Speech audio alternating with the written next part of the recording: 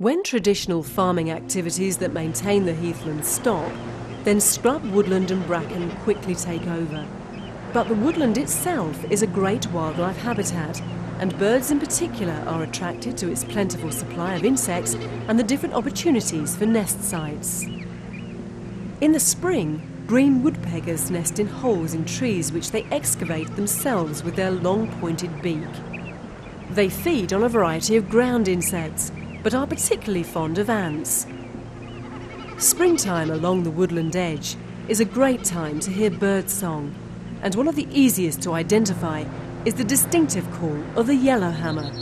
People say he's singing a little bit of bread, but no cheese.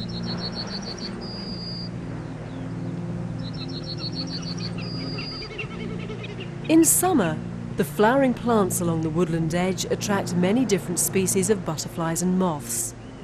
Common butterflies like the gatekeeper are joined by a number of summer visitors like this clouded yellow, which flies over from Europe every year.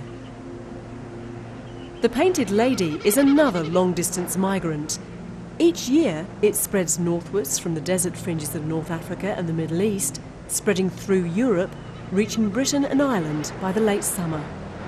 As autumn begins and the leaves begin to fall, the woodland edge is one of the best places to see mushrooms and toadstools. Most fungi actually grow underground as a vast network of filaments called a mycelium, and the bits we see above ground, the mushrooms and toadstools, are their equivalent of flowers or fruits. These are used to produce millions of tiny spores, which are blown in the wind to spread the fungi. Fungi provide a vital role in nature breaking down dead organic matter such as wood and leaf litter.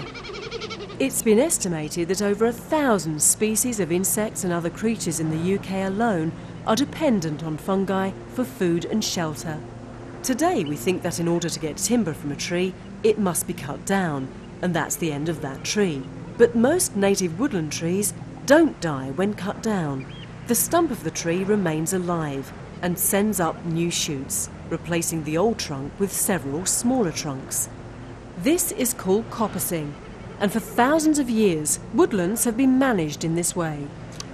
At Kirkby Moor, the trees are coppiced every seven years or so to provide useful timber for the production of charcoal and fencing. And what we're actually doing here is making wattle hurdles, or in the old days known as sheep hurdles, and now it's used for garden fencing. Uh, basically, we're using either willow or hazel, whichever is available. Both are equally useful for hurdle making. Stuart first splits the willow branches with a billhook and then alternately weaves the split lengths between a number of upright willow branches set in a wooden block that holds them until the hurdle is finished. But coppicing does have another benefit and the clearances produced in the woodland are also very attractive to wildlife. Tawny owls set up territories in the woodland and hunt for small animals like mice and voles. Grey squirrels are also very common in coppiced woodland and like foraging for seeds and nuts on the ground.